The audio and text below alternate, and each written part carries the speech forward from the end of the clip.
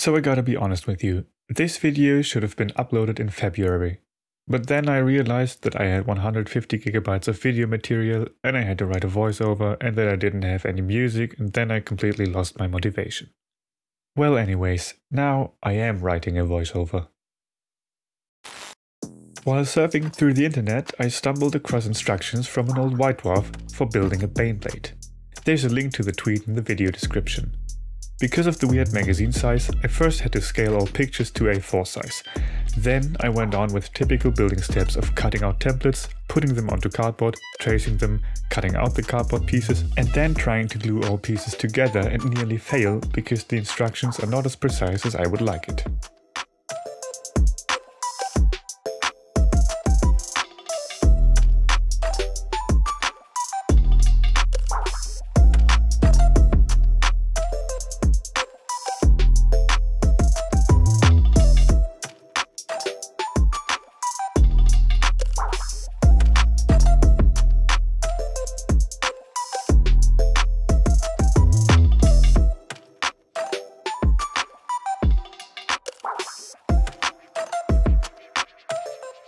This is what I ended up with in the cardboard stage. The instructions really aren't that good and after I finished the project I found some instructions that are way better, also linked in the video description. Then I started gluing on a bunch of stuff for detailing. Armor plates, turrets from plastic lids, the engine, tank tracks, ladders, rivets and other things. While detailing I asked myself, what could look cool on a tank? What would make sense to take it with you what would the crew actually need, and what could tell the story? Then I looked at the historical tanks to see if my ideas actually made sense and where to store what things.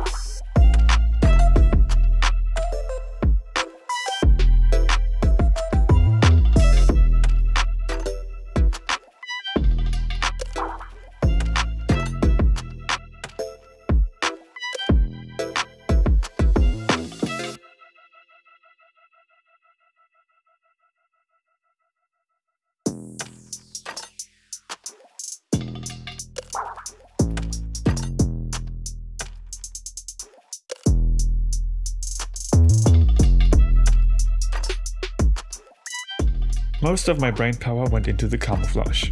At the moment I'm concentrating on urban battlefields, so the tank had to be painted in an urban color scheme. So I started thinking and educated myself about camouflages. The first thing that came to my mind were dazzle camos, World War I ships with black and white stripes.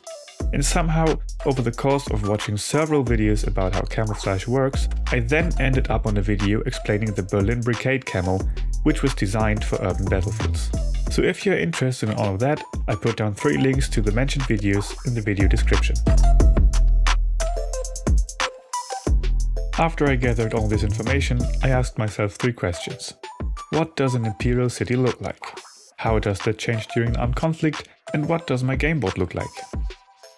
I thought over these questions for days and then came to the following conclusion. Front and back are going to be painted with stripes in grey, white, black and a bluish grey. From a distance, this is supposed to look like walls or pillars of different buildings from different perspectives.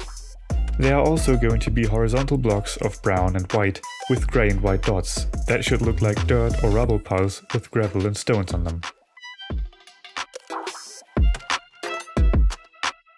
Bottom facing surfaces are getting painted white or light grey, so that shadows are neutralized, similar to deers and other animals. That way, the tank will more likely look like a flat wall than a three-dimensional object.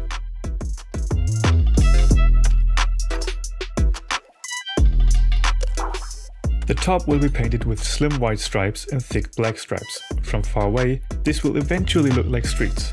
On top of that are going to be splotches of brown and black, dotted with white and light grey. This is supposed to look like puddles and craters with rubble and gravel. So in theory, this camouflage should disrupt and divide the tank's silhouette, while also letting it completely disappear in a destroyed city. To push the detailing even further, I put some decals from the Krieg Veteran kill team on the tank. I did copy the decal placement from someone else's tank, link to that in the video description.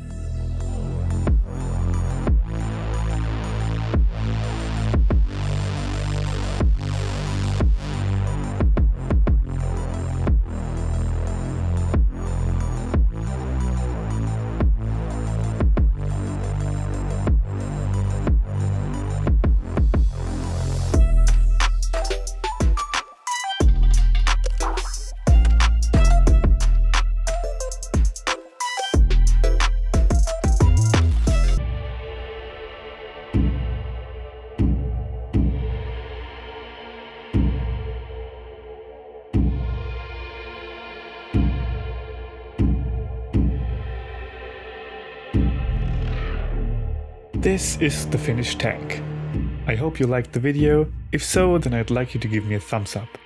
If you want to know how the ruin for the Baneblades parking spot is going to look like, you should subscribe to my channel because that's going to be covered in my next video. Till next time, goodbye.